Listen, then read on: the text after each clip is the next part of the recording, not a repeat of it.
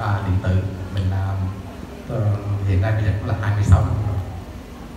Em em biết là anh đang đi công tác nhưng mà anh có thể nói tại sao mà anh đang đi công tác mà anh có uh, gọi là cơ hội mà tới tại Việt Nam và anh đang đi công tác ở đâu? mình thì đang đi công tác hai tuần lễ ở bên uh, Thái Lan ha.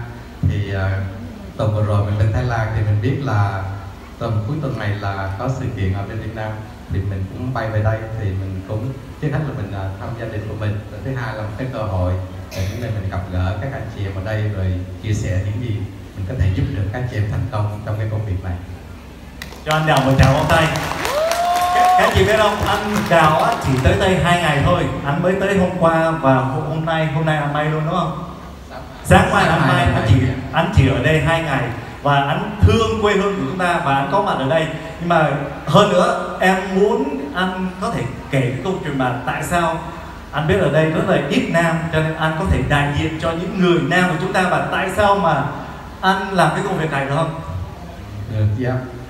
Thực sự là khi mình tham gia cái công việc này cái sự quyết định đó, nó cũng là một cái quá trình ha cũng là một cái quá trình can chẹp thì à, bà xã mình đó là Loan đó, thì à, chín 9 năm trước đó thì cái sức khỏe rất là kém ha rất là kém. Tại vì cũng có cái bệnh thuộc về bên tim đó. Thì à, trị liệu bên đông bên tây y mình đó thì 5 năm thì thực sự nó không không có khá mà nó càng ngày nó càng tệ. Thì cách đây 4 năm thì mình có một uh, một người mà mình coi là người em ha là dược sĩ à, chị Trang. Thì à, có giới thiệu cái sản phẩm à, Pump Natural Skin cho Loan dùng à, thì bà xã mình à, mới dùng vấn thể một tháng là đã thấy có ừ, như là có cái sự phát triển nó thấy nó khỏe hơn.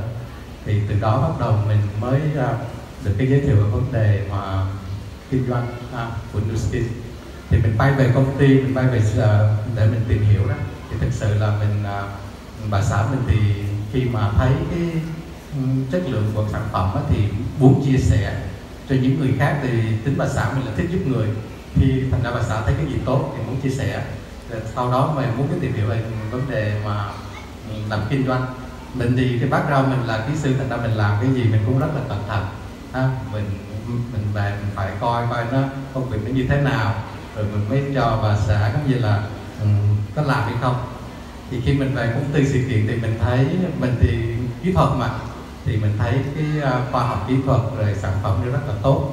Rồi mình thấy cái đội nhóm ha, cái văn hóa đội nhóm đưa skin là rất là hay hả? thì mình ngồi mình cũng hơi lo tại vì bà xã mình thực sự là là một người nội trợ. Ha. Loan là hồi lập gia đình là Loan ở nhà lo cho con cái. Mà tính tình Loan thì rất là nhút nhát ha các chị em rất là nhút nhát. Không biết gì về kinh doanh hết.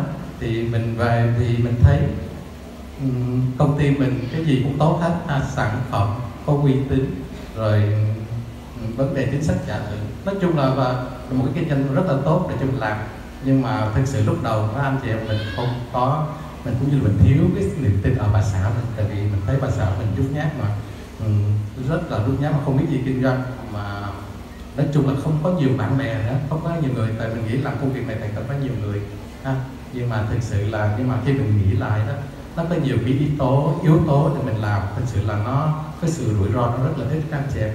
Và khi làm cái đây là mình có thể thay đổi cuộc sống của mình ha, à, có nhiều thời gian về vấn đề tài chính. Ha, mà cái sự rủi ro rất là ít. Thì khi mình tìm hiểu mình thấy đây là một cơ hội để mình đáng để cho mình mình thử. Đó là mình thử chứ thực sự là mình khi mình đã quyết định mình làm rồi đó thì mình tập trung mình làm.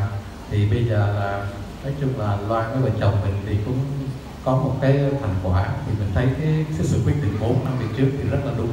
Yeah. các anh chị biết không?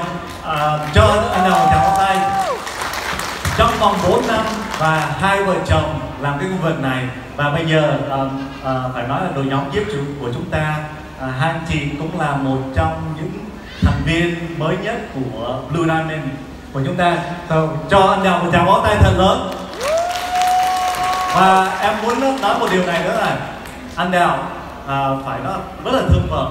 Ở đây mấy anh á à, mình mình phải à, cái cái này em em em phải nói nè tại vì anh rất là thương vợ anh muốn vợ của anh uh, à, đi ra ngoài nhiều hơn. Tại vì ở đây các chị uh, biết là đa số mình đó là ở nhà mình nấu nướng rất là nhiều và nhiều khi chính một thời gian chính bị trầm cảm.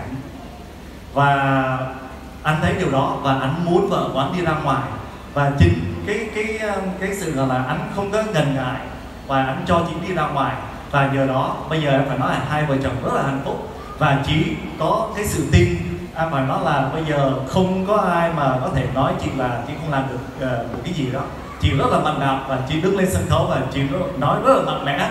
Cho nên ở đây các chị nào mà muốn giống y uh, và văn đạo nói chuyện với anh đạo và cái cách làm sao mà anh có thể giúp chị hoặc là mấy anh nhiều khi mình bảo mình muốn vợ mình uh, năng động hơn mình muốn vợ mình đi ra ngoài tiếp xúc nhiều hơn nói chuyện với anh đạo tại vì qua cái cơ hội này mà hai vợ chồng được rất là phải nói tuyệt vời, trên tuyệt vời cho nào một tràng pháo tay thật lớn nữa